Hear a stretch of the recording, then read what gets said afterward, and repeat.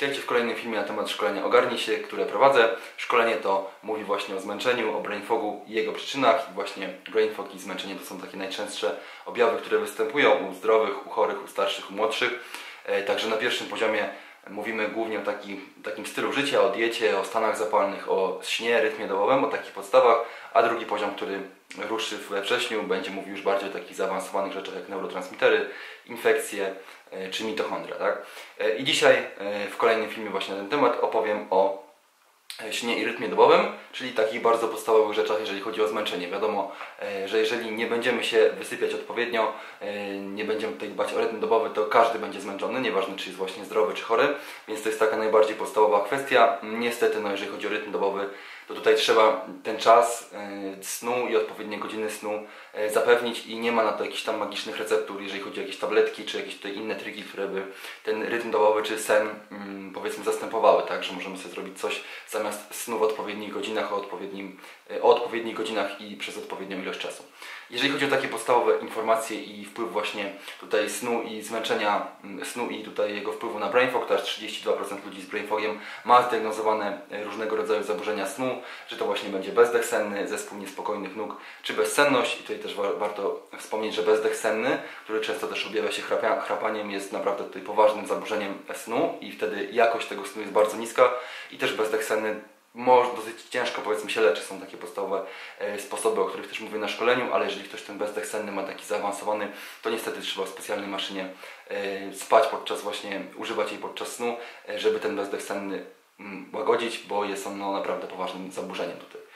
E, Jeżeli chodzi o takie podstawowe rzeczy, e, wiadomo, że rytm dobowy właśnie jest kluczowy i jeżeli chodzi o jego zastąpienie, tak, e, inne stymulanty czy inne rzeczy, które byśmy tutaj używali w ramach powiedzmy zamiennika snu, czyli nie wysypiamy się odpowiednio, stosujemy na przykład kofeinę czy jakieś tutaj inne stymulanty, wiadomo, że to jest tak jakby za zaciąganie kredytu w banku, tak, nie wysypiamy się, a my dodatkowo się jeszcze stymulujemy innymi rzeczami, które na jakiś czas nas pobudzą, ale po pewnym czasie będziemy musieli za to zapłacić, tak, E, czy to będzie objawiało się jakimś tam większym zmęczeniem, czy może nawet jakimś stanem chorobowym, jeżeli tak przez dłuższy czas egzystujemy, no to wiadomo, że nasze zdrowie e, na tym ucierpi.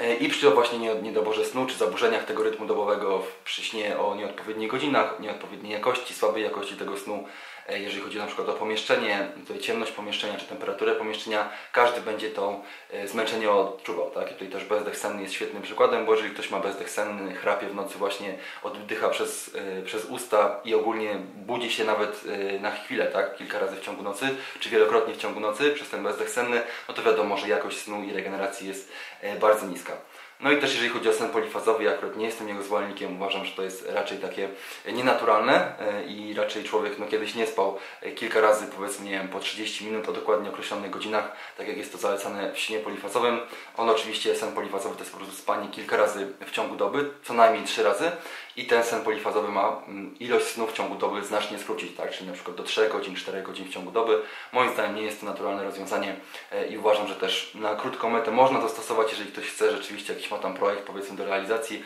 ale na dłuższą metę nasz organizm też będzie e, na tym cierpiał, a poza tym jest to bardzo trudne też do wykorzystania, bo na przykład codziennie o 16, na przykład 24, 6 rano i 12 musimy spać 30 minut i nie można tych godzin ani snu, e, ani przebudzenia przesunąć, ani dokładnie, na, na, praktycznie ani o minutę, bo tutaj i godzina snu i czas odpowiedni snu jest kluczowy, więc na dłuższą metę też jest to bardzo życie, trudne do utrzymania. Jeżeli ktoś jakieś tutaj życie powiedzmy zawodowe prowadzi czy towarzyskie, bo o konkretnych godzinach po prostu musimy spać. Także na krótką metę ewentualnie można spróbować, ale ja też nie jestem zwolennikiem, e, ze względu też na to, że adaptacja zajmuje przeważnie bardzo długo, dużo czasu e, i w tym czasie się też czujemy często gorzej. E, Jeżeli chodzi o sen i tutaj wpływ na mózg i pamięć, wiadomo, że też pod tym względem, jeżeli chodzi o konsolidację pamięci, e, to właśnie podczas snu ona zachodzi. E, Niedobory snu za- zaburzają właśnie rozumowanie, uwagę, kreatywność i każdy rodzaj pamięci, czy to będzie krótkotrwała, czy długotrwała. I tutaj warto wspomnieć właśnie, jeżeli chodzi o pamięć krótkotrwałą, że mm, właśnie przy niedoborze snu ta pamięć krótkotrwała funkcjonuje dużo gorzej. Normalnie, mm, standardowo mm, osoba jest w stanie zapamiętać od 4 do 7 informacji w pamięci krótkotrwałej. Pamięć krótkotrwała to jest ta, która trwa około 30, powiedzmy 45 sekund w zależności od źródeł. Czyli jeżeli ktoś podałby nam 7 liczb, to wiele osób jest w stanie przez 30 sekund powiedzmy te liczby zapamiętać i je powtórzyć. Niektóre osoby są w stanie zapamiętać tylko 4 czy 5 cyfr, ale jest to powiedzmy normalne tak? i zależne od osoby. Przy niedoborze snu, czyli na przykład przy jednej nieprzespanej nocy, gdzieś spaliśmy na przykład 3 godziny, albo jakość snu była bardzo niska, albo gdy śpimy po prostu regularnie cały czas za krótko, na przykład codziennie po 6-5 godzin, to wtedy ta pamięć krótkotrwała spada bardzo znacząco, bo spada tylko do jednej, dwóch informacji, czyli nie istnieje praktycznie wcale, bo jeżeli jesteśmy w stanie zapamiętać na przykład dwie cyfry, no to to jest bardzo słaby wynik i też na pewno wiele osób z Was doświadczyło takiej zależności, tak, że przy niedoborach snu po prostu ta pamięć krótkotrwała e, funkcjonuje bardzo słabo. No i jeżeli chodzi o konsolidację wspomnień, właśnie to też zachodzi przede wszystkim podczas snu. E, jeżeli śpimy, no to ta pamięć długotrwała powstaje. No i pamięć długotrwała to jest ta, która trwa już dłużej no niż 30-45 sekund, a tak naprawdę może ona trwać, yy, może być na stałe tak naprawdę istnieć, bo jeżeli używamy jakichś informacji, na przykład jeżeli yy, używamy jakichś kodów nie, na kasę w Tesco, tak, na banany i ciągle tego używamy dzień w dzień albo przynajmniej kilka razy w tygodniu, albo jakichś innych liczb, haseł, pinów i tego typu rzeczy, no to wiadomo, że ta pamięć długotrwała, cały czas się utrwala i tak naprawdę może trwać tak długo, jak jej używamy. Tak? Jeżeli potem przez jakiś czas byśmy, przez dłuższy czas byśmy nie używali tych w ogóle informacji, to one mogą oczywiście z tej pamięci długotrwałej e, też zniknąć, no ale przeważnie e, ona trwa naprawdę długo. No i żeby tą pamięć długotrwałą e, właśnie stworzyć, no to trzeba te informacje powtarzać, ale w ciekawych badaniach właśnie wykazano, że jeżeli osoby uczyły się w dwóch różnych sesjach, na przykład rano i wieczorem, albo wieczorem i rano, to te osoby, które uczyły się właśnie rano i wieczorem i w międzyczasie zrobiły drzemkę, albo te osoby, które uczyły się wieczorem, spały w nocy i potem rano uczyły się drugi raz, lepiej zapamiętywały y, materiał, którego się uczyły, niż osoby, które uczyły się na przykład rano i wieczorem, ale nie robiły drzemki w międzyczasie, albo uczyły się po południu wieczorem, tak, i nie było tutaj przerwy związanej właśnie ze snem. Co ciekawe, ćwiczenia w międzyczasie właśnie mm, takiej dłuższej nauki też bardzo dobrze na pamięć wpływają, ale nie tak dobrze jak sen, także drzemki nawet w okresie takiej dużej nauki jak najbardziej tutaj korzystnie wpłyną na zapamiętywanie i konsolidację pamięci. E, no i jeżeli chodzi jeszcze o neurogenezę w hipokampie, neurogeneza jest to tworzenie się nowych komórek nerwowych, które jak wykazano w nowszych badaniach jak najbardziej e, te nowe komórki nerwowe, neurony jesteśmy w stanie tworzyć w każdym wieku, tak, czy mamy 30, czy 40, czy 50 lat, jak najbardziej nowe komórki nerwowe jesteśmy w stanie tworzyć. Oczywiście w niewielkiej ilości nie będzie miało to dużego znaczenia e, pod względem samej ilości wszystkich komórek w naszym ciele, bo do 25 roku życia te komórki tak naprawdę cały czas tracimy i w wieku 25 lat powiedzmy ten mózg jest już ukształtowany i potem cały czas ta liczba też e, dalej spada, ale w jakimś tam stopniu nowe komórki nerwowe jesteśmy w stanie e, tworzyć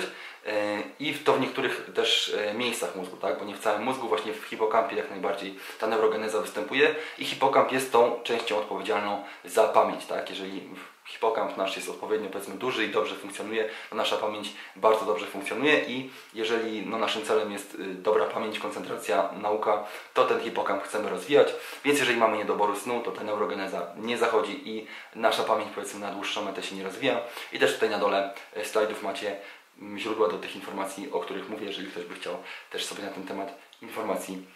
y, poszukać. Jeżeli jeszcze chodzi o dalszą, dalszą rzecz tutaj wpływu, wpływu na mózg, bardzo ważny jest układ glimfatyczny, właśnie z na początku, który oczyszcza nasz mózg właśnie e, w trakcie snu z różnych toksyn, metabolitów, a co najważniejsze, podczas snu właśnie odzyskujemy wrażliwość receptorów na nasze neurotransmitery. I to jest bardzo kluczowa kwestia, bo normalnie możemy sobie na różne sposoby zwiększać poziom poszczególnych neurotransmiterów, na przykład biorąc 5-HTP zwiększamy poziom serotoniny, biorąc acetylowaną tyrozynę zwiększamy poziom dopaminy itd., tak itd. Tak na neurotransmitery jak najbardziej możemy wpływać, ale na wrażliwość receptorów, czyli na odbiór tak naprawdę tych sygnałów, poza snem jest trudno wpływać, tak? Są jakieś tam podstawowe metody, które działają mniej lub bardziej, ale ta wrażliwość receptorów to jest taki klucz, to jest najważniejsza rzecz, żeby te, te neurotransmitery działały odpowiednio, bo co z tego, że mamy bardzo dużo serotoniny, jak ona nie łączy się z receptorem i te receptory w ogóle nie odbierają sygnału, wtedy możemy sobie tak naprawdę bardziej jeszcze zaszkodzić. Mamy nadmiar serotoniny, która tak naprawdę nie wykazuje odpowiedniego działania i właśnie ta, to działanie na poziomie receptorów jest bardzo kluczowe i podczas snu ono najbardziej zachodzi, więc zamiast powiedzmy faszerować się dużą ilością e, prekursorów neurotransmiterów czy stymulantów, przede wszystkim warto się wyspać, żeby te neurotransmitery e, działały odpowiednio. E, tutaj, jeżeli chodzi jeszcze też o niedobór snu, on pogarsza wykonywanie czynności podświadomych, czyli na przykład jazdę samochodem, jazdę na rowerze i stąd też często wypadki w różnego rodzaju też fabrykach czy takich pracach, gdzie wykonuje się po prostu czynności takie powtarzające się bardzo mocno, e, często zachodzą w nocy albo przy niedoborze snu, gdzie ktoś jest po prostu niewyspany, bo wtedy te czynności dużo e, gorzej wykonujemy. Tutaj też funkcje kognitywne przy niedoborze snu spadają, czy to będzie skupienie, język, podejmowanie decyzji, czy właśnie wyciąganie wniosków, to też bardzo jest zależne mocno od snu i rytmu dobowego. No jeżeli chodzi o układ odpornościowy, tutaj też warto na to zwrócić uwagę, że przy niedoborze snu spada nam ilość limfocytów T regulatorowych, które tak naprawdę, tak jak sama nazwa wskazuje, regulują układ odpornościowy, a zwiększa nam się poziom limfocytów TH17, które są tak naprawdę prozapalne. I takie działanie, czyli spadek limfocytów T regulatorowych, a wzrost limfocytów TH17 jest typowym obrazem w chorobach autoimmunologicznych. Tak właśnie to wygląda, że limfocyty T regulatorowe praktycznie we wszystkich chorobach spadają autoimmunologicznych, a limfocyty TH17 wzrastają, więc jeżeli ktoś ma już chorobę autoimmunologiczną lub ma predyspozycję, czy chce się chronić przed tymi chorobami, to warto też zadbać o rytm dobowy. No i zmniejsza się tutaj odpowiedź stresowa, jeżeli chodzi o oś, podzgórze, przysadkę nadnercze, nadnercza i CRH, czyli kortykoliberynę. Na temat zmęczenia nadnerczy też e, mówiłem w poprzednim filmie, na właśnie jeżeli chodzi o zapowiedź ogarnij się, więc e, no, pod każdym względem jest to bardzo ważne. No jeżeli chodzi o tutaj hormony i fizjologię, e, tutaj mamy to rozpisane. Jeżeli chodzi o grelinę i leptynę, tutaj grelina spada, leptyna, e, grelina wzrasta, leptyna spada. Grelina jest powiedzmy takim hormonem głodu, chociaż ona też ma tutaj inne funkcje, e, ale no w takim najprostszym powiedzmy języku, jeżeli mamy wyższą grelinę, to jesteśmy bardziej głodni, stąd też więcej jemy przy niedoborach snu. No i wzrasta nam, spada nam leptyna, która jest takim hormonem sytości, więc tą sytość też odczuwamy mniejszą. Więc no, te dwa hormony, te dwa działania wskazują na to, że przy niedoborach naborze snu możemy zjeść więcej. No i leptyna też oprócz tego działania takiego mm, związanego z bardzo ważnym regulatorem e, naszej gospodarki hormonalnej, bo odpowiedni poziom leptyny reguluje nam tak naprawdę wszystkie hormony, czy to będzie tarczyca, testosteron, estrogen, progesteron. To wszystko jest zależne od leptyny i ważne jest, żebyśmy mieli tą leptynę na odpowiednim poziomie, nie za wysoką, też nie za niską i żeby ona działała e, odpowiednio na poziomie receptorów, bo znowu osoby otyłe mają tej leptyny za dużo, ale jest e, leptynooporność, występuje leptynooporność, czyli leptyna nie działa na poziomie receptorów. E, insulinowrażliwość spada zdecydowanie i tutaj też e, mamy to w formie graficznej, gdzie właśnie widzimy, że insulinowrażliwość też spada zdecydowanie przy niedoborach snu. No i to nawet porównuje się, że jedna nieprzespana noc odpowiednio mm, powoduje taką insulinooporność jak u osoby z cukrzycą typu drugiego, czyli po prostu ta insulina działa bardzo, bardzo słabo. Testosteron przy niedoborach snu u mężczyzn spada, estrogen przed menopauzą u kobiet spada. Po menopauzie są tutaj badania różne, niektóre wskazują, że wzrasta, niektóre, że spada. Wzrasta prolaktyna przy niedoborze snu. E, prolaktyna oczywiście mm, przeważnie kojarzy się negatywnie, tak, że ona odpowiada tutaj powiedzmy za mleko w piersiach, tak, tutaj za karmienie piersią i ogólnie za złe, samo, złe samopoczucie, bo nadmiar prolaktyny oznacza, że mamy niską dopaminę, więc jakość życia, mm, motywacja, chęć do wykonywania różnych rzeczy jest bardzo niska przeważnie i też większa tendencja do nałogów, e, ale prolaktyna też jest ważna na przykład jeżeli chodzi o mielinizację tutaj neuronów, tak, tych osłonek e, wokół układu mm, komórek nerwowych, więc to też jest ważne, no ale nadmiar prolaktyny, tak jak powiedziałem, no przeważnie mm, działa na nas negatywnie, na nasze samopoczucie, też na gospodarkę hormonalną. E, I tutaj u kobiet występują też mm, wahania hormonu leutonizującego, czyli LH, który wpływa bardzo mocno na płodność. E, kortyzol na krótką metę się podnosi, na dłuższą metę on oczywiście będzie tam spadał, czy e, zaburzał się jego rytm dobowy. TSH też na początku wzrasta i to na początku też przekłada się na wyższy poziom hormonów tarczycy T3, T4. Jednak na dłuższą metę TSH przeważnie pozostaje wysokie, a nasza tarczyca już nie odbiera tego sygnału. Hormon wzrostu spada zdecydowanie, bo on przede wszystkim jest wydzielany podczas snu, więc jeżeli sen jest zaburzony, mamy jego niedobory, to hormon wzrostu spada zdecydowanie nawet o połowę. E, wiadomo, hormon wzrostu związany z dobrą sylwetką, z takim powiedzmy zdrowiem, długowiecznością, odpowiednim zdrowiem też skóry, ale też i samopoczuciem. E, przy niedoborze czy zaburzeniach snu zwiększa się ryzyko wrzodów żołądka, jelita drażliwego, e, chorób różnego rodzaju jelit, zwiększa się ryzyko nowotworów, szczególnie też przy pracy zmianowej i tutaj odpowiedzialny jest być może wpływ na estrogen właśnie i na pewno na melatoninę, która ma silne działanie też przeciwnowotworowe, jest silnym antyoksydantem. E, zwiększa się też odczuwanie bólu przy niedoborach snu i mamy tutaj to właśnie przedstawione e, w formie graficznej, tak, jeżeli chodzi o kortyzol, e, hormon wzrostu, wrażliwość na insulinę, testosteron i inne hormony. I jeżeli chodzi o szkolenia, ogarnij się tam na tych szkoleniach, mówię też jeszcze, jeżeli chodzi o znaczenie drzemek w zdrowiu właśnie,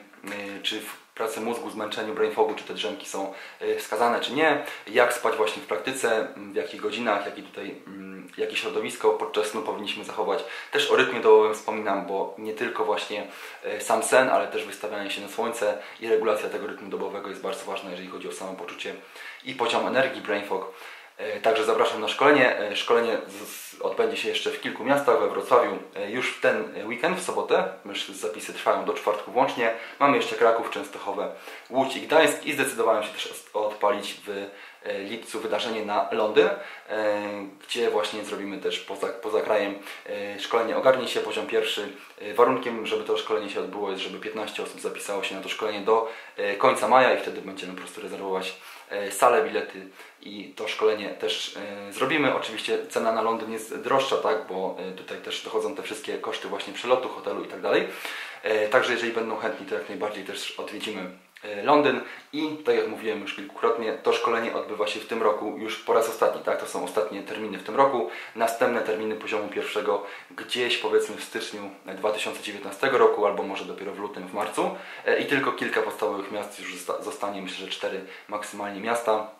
E, Być może też będą one już po połączeniu z drugim poziomem się odbywać, a drugi poziom właśnie, tak jak mówiłem, jeżeli chodzi o neurotransmitery, mitochondria, infekcje, toksyny, to będzie się odbywać, e,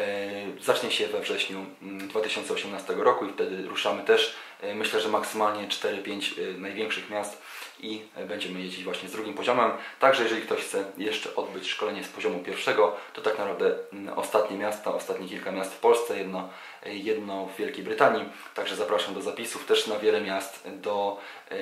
po świętach jeszcze są mm, ostatnie dni niższej ceny, także też zapraszam do zapisów. Informacje będą tutaj w opisie filmu, e, czy na Facebooku, czy na YouTubie.